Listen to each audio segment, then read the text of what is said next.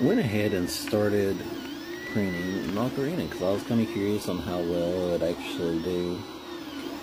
Uh, so far, everything looks like it's coming out really good. I did make the mistake of choosing the wrong file that I sliced because this one has ports on the inside instead of just touching the build plates.